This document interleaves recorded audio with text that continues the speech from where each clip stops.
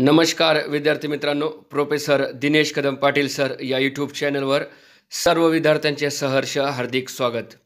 विद्यार्थी मित्रांनो आपण महाराष्ट्राचा भूगोल व सोबतच भारतीय अर्थव्यवस्था किंवा अर्थशास्त्र या विषयाची सिरीज या ठिकाणी सुरू केलेली आहे.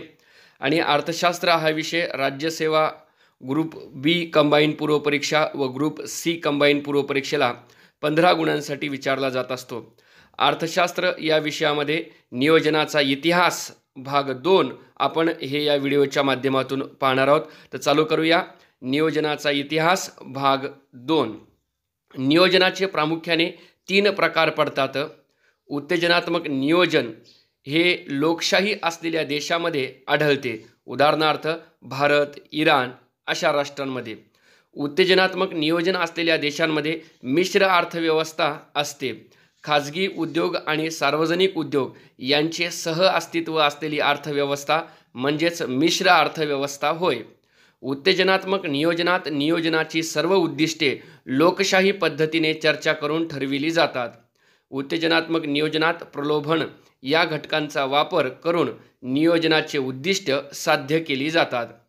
साम्यवादी देशात उदाहरणार्थ रशिया चीन पोलंड या राष्ट्रांमध्ये आदेशात्मक नियोजन आढळते. आदेशात्मक नियोजन या प्रकारात शासन एका आदेशाद्वारे कोणत्या वस्तूचे व सेवांचे उत्पादन किती व कसे करावे हे ठरविते. तसेच त्या वस्तूंच्या व सेवांच्या किमती निश्चित करते. आदेशात्मक नियोजन असलेल्या देशात सरकारच्या आदेशाप्रमाणे उद्दिष्ट पूर्ण करणे एवढेच काम उद्योग कृषी व इतर क्षेत्रातील कामगारांना करावे लागते. सूचक नियोजन इंडेक्टिव्ह प्लॅनिंग भांडवलशाही अर्थव्यवस्था असलेल्या देशात उदाहरणार्थ फ्रान्समध्ये सूचक नियोजन उपयुक्त ठरते. सूचक नियोजनात शासन नियोजनाचे उद्दिष्टे ठरवून उद्योगपतींना त्यामध्ये सहभागी होण्याचे सूचित करते. फ्रान्समध्ये सूचक नियोजन अत्यंत यशस्वी ठरले आहे. चोवीस जुलै एकोणीसशे एक्क्याण्णवपासून भारताचे नवीन औद्योगिक धोरण स्वीकारल्यानंतर आठव्या पंचवार्षिक योजनेपासून सूचक नियोजन पद्धतीचा वापर सुरू केला आहे. लोकशाही प्रधान नियोजन असलेल्या देशात मिश्र अर्थव्यवस्था आढळते. मिश्र अर्थव्यवस्थेत सार्वजनिक व खाजगी व खाजगी क्षेत्र यांची सरमिसळ आढळते. मित्रांनो या पेजवरील सर्वात महत्त्वाचे प्रश्न असे की नियोजनाचे किती प्रकार पडतात? तर नियोजनाचे प्रामुख्याने तीन प्रकार पडतात. नंबर एक उत्तेजनात्मक नियोजन. नंबर दोन आदेशात्मक नियोजन आणि नंबर तीन सूचक नियोजन.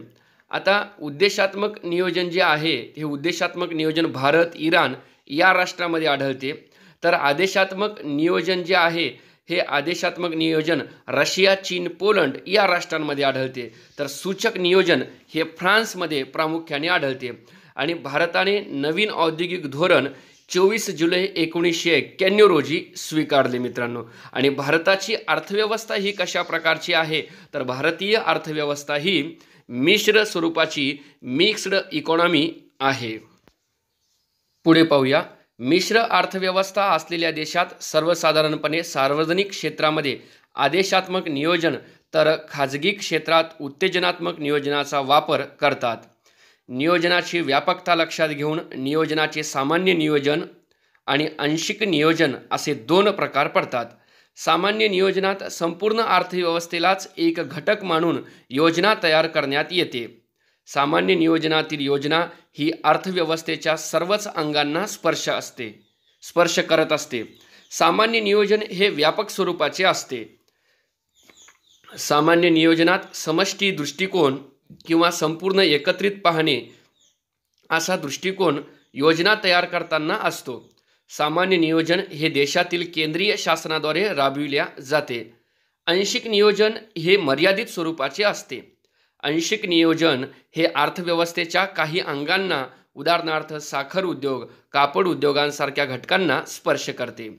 आंशिक नियोजन हे एक प्रकारचे खंडित किंवा तुकडा नियोजन असते. नियोजनाचे कार्यात्मक नियोजन फंक्शनल प्लॅनिंग आणि संरचनात्मक नियोजन स्ट्रक्चरल प्लॅनिंग असे दोन पोट प्रकार पडतात. कार्यात्मक नियोजनालाच कार्यप्रधान किंवा निर्माणप्रधान नियोजन असेही म्हणतात. कार्यात्मक नियोजनामध्ये एखादे विशिष्ट उद्दिष्ट डोळ्यासमोर ठेवून उदाहरणार्थ बेकारी निर्मूलनासाठीचे नियोजन त्यांच्या पूर्ततेसाठी नियोजन ओळखण्यात ये नियोजन आखण्यात येते. कार्यात्मक नियोजनामुळे समाजाची रचना बदलत नाही. कार्यात्मक नियोजनामुळे आर्थिक संस्थांची रचना आणि स्वरूप कायम राहते. कार्यात्मक नियोजन हे भांडवलशाही देशात विकासासाठी उपयुक्त असते.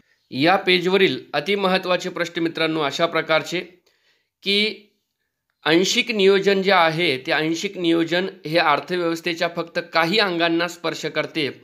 तर व्यापक नियोजन हे संपूर्ण अर्थव्यवस्थाला उद्दिष्ट समोर ठेवून एकत्रित सर्व घटकांचा विचार करून हे व्यापक दृष्टिकोनातून व्यापक नियोजन असते. पुढे पाहूया मित्रांनो. संरचनात्मक नियोजन स्ट्रक्चरल स्ट्रक्चरल प्लॅनिंग संरचनात्मक नियोजनात विकासाचे कार्यक्रम राबविले जातात त्यामुळे समाजाचे संपूर्ण स्वरूप बदल बदलून जाते. कृषी क्षेत्रातून जमीनदारी मालगुजारी कायमधारा पद्धती रद्द करून कसेल त्याची जमीन हे तत्व अस्तित्वात आल्यानंतर जमीनदार व कामगार हे वर्ग नष्ट झाले. हा संरचनात्मक नियोजनाचा परिणाम होय. अल्पविकसित देशांसाठी संरचनात्मक नियोजन महत्त्वाचे ठरते. भारताचे नियोजन श्रमप्रधान आहे ते भांडवल प्रधान नाही. तर भारताचे नियोजन तर भारताचे नियोजन उत्तेजनात्मक आहे. ते आदेशात्मक नाही. भारतीय नियोजन हे लोकशाही प्रकारचे नियोजन आहे. कारण नियोजन ठरविताना विरोधी पक्षाच्या लोकांचेही म्हणजे म्हणणे विचारात घेतले जाते. भारताचे नियोजन सामान्य नियोजन आहे. ते आंशिक नियोजन नाही. भारताचे नियोजन हे संरचनात्मक नियोजन आहे. ते कार्यात्मक नाही. अमेरिकेतील एकोणीसशे तेहतीसची मंदी विच निवारक योजना म्हणजेच न्यू डील पॉलिसी हा नियोजनाचा एक प्रकार होता. फ्रान्समधील मोनेट योजना ही देखील हा देखील एक नियोजनाचेच उदाहरण होय. इसवी सन पूर्व चारशे या काळात ग्रीक तत्ववेता प्लेटो याने सर्वप्रथम नियोजनाची संकल्पना मांडली होती. जगातील सोव्हिएत रशियातील पहिल्या नियोजनविषयक योजनेचे जनक जोसेफ स्टॅलिन हे होते. प्लॅनिंग अँड द पुअर या ग्रंथाचे लेखक डॉक्टर बी एस मिन्हास हे होते. विद्यार्थी मित्रांनो या पॉईंटमध्ये काही अतिमहत्त्वाचे प्रश्न आहेत. ते प्रश्न या स्वरूपामध्ये आपल्याला सांगता येईल की जगामध्ये सर्वप्रथम नियोजनाची संकल्पना कोणी मांडली? तर ग्रीक तत्ववेत्ता प्लुटो याने मांडली. आणि जगामध्ये नियोजनाची सुरुवात ही कोणत्या राष्ट्रानं केली? तर रशियानं केली. आणि रशियाची ही जी नियोजनाची मूळ संकल्पना होती ती कुणाची आहे किंवा रशियातील नियोजनाचे जनक कुणाला मानले जाते तर ते जोसेफ स्टॅलिन यांना मानले जाते. आणि भारतामधले जे काही नियोजन आहे हे नियोजन आपले सामान्य नियोजन आहे ते आंशिक नियोजन नाही. आणि प्लॅनिंग अँड द पुअर या ग्रंथाचे लेखक कोण आहेत तर डॉक्टर बी एस मिन्हास हे या ग्रंथाचे लेखक आहेत. पुढे पाहूया. कोणतीही पंचवार्षिक योजना सुरू होण्यापूर्वी किमान तीन वर्ष अगोदर तिचे नियोजन तयार असते. नियोजन तयार करण्यात सांख्यिकीय माहिती स्टॅटिकल डाटा याला विशेष महत्त्व असते. सांख्यिकीय माहिती किंवा आकडेवारी केंद्रीय सांख्यिकी संस्था सी एस ओद्वारे नियोजन आयोगाला सादर केली जाते. पुढे पाहूया. सी एस ओ म्हणजेच सेंट्रल स्टॅटिकल ऑर्गनायझेशन होय. आर बी आय ही भारताची मध्यवर्ती बँक सेंट्रल बँक होय. आर बी आयद्वारे कृषी आणि औद्योगिक क्षेत्राची माहिती आयोगाला सादर केली जाते. नियोजन मंडळात स्वतंत्र असा संशोधन विभाग रिसर्च विंग असतो. या विभागाद्वारे सामाजिक आर्थिक व प्रशासकीय समस्यांबाबत संशोधन केले जाते. पंचवार्षिक योजनेची निर्मिती ही एक जटिल प्रक्रिया कॉम्प्लेक्स प्रोसेस आहे. योजनेच्या निर्मितीमध्ये केंद्रीय नियोजन आयोग राष्ट्रीय विकास परिषद केंद्र शासन आणि रा आणि सर्व राज्य शासने व केंद्रशासित प्रदेशातील शासने शासने यांचा सहभाग असतो. पंचवार्षिक योजनेच्या निर्मितीत अंदाज प्रारूप निर्मिती सरकारी योजना असे तीन टप्पे असतात. नियोजन आयोगाने तयार केलेल्या आराखड्याला एन डी सी प्रथम मान्यता देते. नंतर ही योजना संसदेच्या मान्यतेसाठी पाठविली जाते व संसदेने मान्यता दिल्यानंतर त्या योजनेला शासकीय योजनेचे स्वरूप प्राप्त होते व ती योजना प्रकाशित केली जाते. भारतात आर्थिक वर्ष एक एप्रिल ते एकतीस मार्च या कालावधीत असते. भारतात महसुली वर्ष हे एक ऑगस्ट ते एकतीस जुलै या कालावधीत असते. भारतात कृषी वर्ष हे एक जुलै ते तीस जून या कालावधीत असते. भारतात आर बी आयचे आर्थिक वर्ष एक जुलै ते तीस जून या कालावधीत असते. भारतातील कोणतीही पंचवार्षिक योजना ही एक एप्रिल या दिवशी सुरू होते व एकतीस मार्च या दिवशी संपत असते.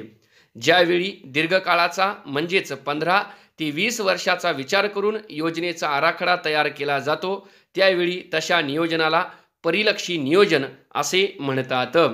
या पेजवरील सर्वात महत्त्वाचे प्रश्न मित्रांनो आर बी आय म्हणजेच रिझर्व्ह बँक ऑफ इंडिया ही भारताची मध्यवर्ती बँक आहे मित्रांनो. नियोजनाची निर्मिती किंवा निर नियोजनाची प्रक्रिया ही एक जटिल कॉम्प्लेक्स प्रक्रिया आहे. सर्वात महत्त्वाचा प्रश्न की नियोजन आयोगाला एन डी सीने मान्यता दिल्याच्या नंतर अंतिम मान्यता कोण देते? तर नियोजनाला अंतिम मान्यता ही संसद देते इंडियन पार्लमेंट देते. काही जिल्हा निवड समितीचे अति महत्त्वाचे प्रश्न मित्रांनो भारतात आर्थिक वर्ष हे एक एप्रिल ते एकतीस मार्च या काळात असते. आर्थिक वर्ष भारताचं एक एप्रिल ते एकतीस मार्च. भारतातील महसुली वर्ष हे एक ऑगस्ट ते एकतीस जुलै या कालावधीत असते. तर भारतातलं कृषी वर्ष हे एक जुलै ते तीस जून असते. तर R B I reserve bank of इंडियाचे आर्थिक वर्ष एक जुलै ते तीस जून या प्रकारामध्ये असते. आणि एक अति महत्त्वाचा मुद्दा दुसरा एक मित्रांनो ज्यावेळी पंधरा ते वीस वर्षाचा विचार करून एखाद्या नियोजनाचा आराखडा तयार केला जातो तेव्हा त्या नियोजनाला कोणतं नियोजन म्हणायचं? तेव्हा त्या नियोजनाला म्हणायचं परिलक्षी नियोजन पुढे परिलक्षी नियोजन म्हणजे अगोदरच्या पिढीने पुढच्या पिढीच्या कल्याणासाठी केलेली तरतूद होय असे म्हणता येते. एकोणीसशे सतरामध्ये आर्थिक नियोजनाचा पहिला प्रयत्न अमेरिका यू एस एने टेनेसी टेनेसिस व्हॅली अथॉरिटीची स्थापना करून केला होता. टेनेसिस व्हॅली अथॉरिटीचे कार्य प्रत्यक्षात एकोणीसशे तेहतीसमध्ये सुरू झाले. टेनेसिस व्हॅली अथॉरिटीद्वारे अमेरिकेने सुरू केलेले हे नियोजन म्हणजे प्रादेशिक नियोजन होते. सैद्धांतिकदृष्ट्या विचार करता प्रादेशिक नियोजन सर्वप्रथम अमेरिका यू एस एमध्ये सुरू झाले. राष्ट्रीय नियोजन नॅशनल प्लॅनिंग मात्र सर्वप्रथम सोव्हियत रशियात एकोणीसशे अठ्ठावीसमध्ये सुरू झाले. व्यावहारिकदृष्ट्या विचार करता राष्ट्रीय नियोजनाची सुरुवात सर्वप्रथम सोव्हियत रशियात झाली. मित्रांनो यामध्ये महत्त्वाचे प्रश्न दोनच आहेत. प्रादेशिक नियोजनाची सुरुवात ही एकोणीसशे तेहतीसमध्ये अमेरिकेमध्ये झाली. आणि पहिला पत प पहिला प्रयत्न प्रादेशिक नियोजनाचा हा अमेरिकेने एकोणीसशे सतरामध्ये केला होता. तो म्हणजे टेनिसी व्हॅली ॲथॉरिटी म्हणून. तर प्र प्रादेशिक नियोजनाची सुरुवात जगामध्ये सर्वप्रथम अमेरिका या राष्ट्रात झाली. तर राष्ट्रीय नियोजनाची सुरुवात मात्र जगामध्ये सर्वप्रथम सोव्हियत रशियामध्ये झाली एकोणीसशे अठ्ठावीसमध्ये आणि या राष्ट्रीय नियोजनाचे जनक म्हणून रशियामध्ये जोसेफ स्टॅलिन हे ओळखले जातात. तर विद्यार्थी मित्रांनो हा होता आपला अर्थशास्त्र या विषयामधील भारतीय पंचवार्षिक योजना किंवा भारतीय नियोजन याचा इतिहास भाग दोन. आपण पंचवार्षिक योजना किंवा भारतीय नियोजनाचा इतिहास याचे एकूण प्रामुख्याने दोन व्हिडिओ बनविलेत. हा दुसरा भाग या ठिकाणी पूर्ण झाला म्हणजेच या ठिकाणी भारतीय नियोजनाचा इतिहास पार्श्वभूमी ही या ठिकाणी कंप्लीट झाली मित्रांनो. या पुढच्या व्हिडिओमध्ये आपण लवकरच सर्व पंचवार्षिक योजना या अभ्यासणार आहोत. ज्या कोणी विद्यार्थ्यांनी माझं चॅनल आणखीन सबस्क्राय सबस्क्राईब केलं नसेल त्यांनी कृपया माझं चॅनल लाईक करा शेअर करा सबस्क्राईब करा. तोपर्यंत धन्यवाद.